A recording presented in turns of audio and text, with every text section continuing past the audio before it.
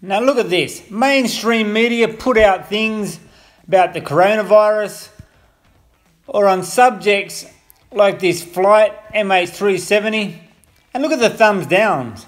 People aren't buying their bullshit anymore. I think people are waking up.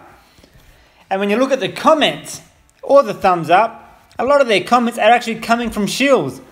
They're putting their own comments in their own video basically under different names, looking like people are supporting whatever they're saying about vaccinations and whatnot.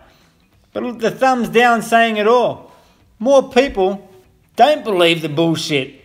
And the few thumbs up you get there and the comments are all coming from within anyway. So are people really getting vaccinated? The government buys millions of vaccinations each year, so they say, because more and more people are getting vaccinated, but are they?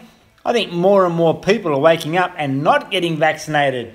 It's just one big propaganda push to make, make people think and guilt people into being vaccinated.